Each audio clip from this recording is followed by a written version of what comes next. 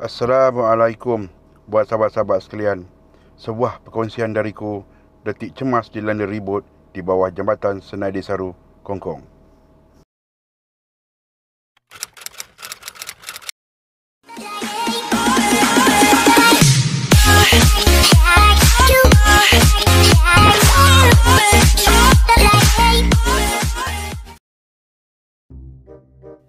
Rasa seronok bila nak turun mancing.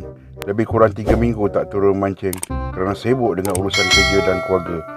Perancangan untuk turun mancing di Kongkong bersama Bedul pada petang Sabtu 8 Jun 2013 yang telah aku aturkan sekitar seminggu sebelumnya.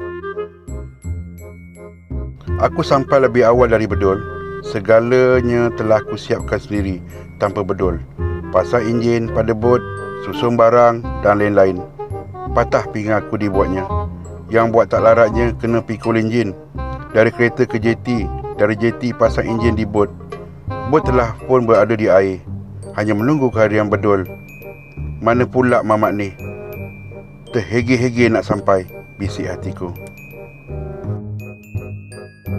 Setelah setengah jam menunggu, si bedul baru sampai dengan senyuman yang lebar sampai ke telinga. Apa taknya, semua kerja-kerja pemunggahan dalam bot telah pun aku siapkan. Aku dan Bedul mula bergerak menyusuri Sungai Lato untuk menuju ke destinasi pertamaku di bawah jambatan panjang Lebuh Raya Senai ke Desaru. Sekitar jam 5.10 petang kami sampai di lokasi macam biasalah memasang umpan pada mata kail dan memulakan aktiviti memancing. Cuaca kelihatan mendung bersama angin sepoi-sepoi. Beberapa ekor udang hidup terkoban dijadikan sebagai umpan. Namun tiada sebarang rentapan ganas, hanya pagutan-pagutan kecil dari anak-anak ikan dan si buntal yang menghabiskan umpan. Aku dah mula rasa bosan.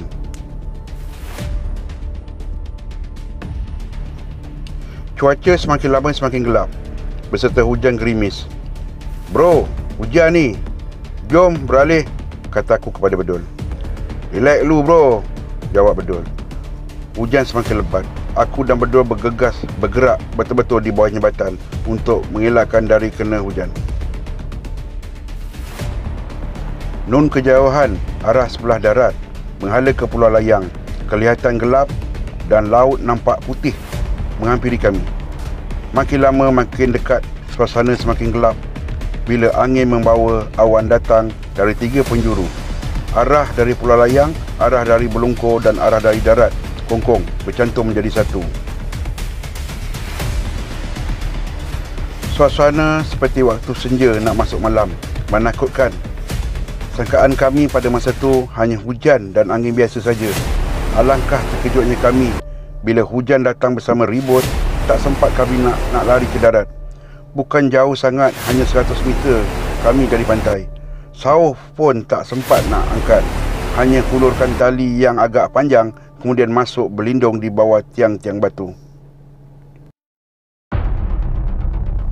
Ketinggian ombak masa itu sekitar 1.5 meter beserta angin kencang. Sesekali ombak tiga serangkai datang menjadikan lambungan semakin tinggi sekitar 2.5 meter. Kehadiran ombak tiga serangkai membuatkan kami menunduk, menundukkan kepala kerana dah hampir sampai dengan lantai atas jambatan. Suasana jadi kelang kabut dibuatnya. Bot jadi tak stabil. Tonggang langgang. Tak keruan. Kami hanya bertahan di celah-celah tiang dengan tangan saja. Berdebam, debum, debam. Bot terhagul terhantuk pada tiang batu yang penuh teritir. Masing-masing muka pucat lesi tanpa darah. Ya Allah, selamatkanlah diriku. Janganlah kau tarik nyawaku hari ini, bisik hatiku. Ketika itu terbayang wajah-wajah orang yang aku sayang, anak dan isteri. Tak tahu apa akan jadi pada hari ini. Aku hanya berdoa, bertawakal dan berserah kepada Allah. Aku dan Badut Silih berganti melaungkan azan. Keadaan semakin cemas. Bot bergoncang terus. Tiada tempat untuk kami menambat bot.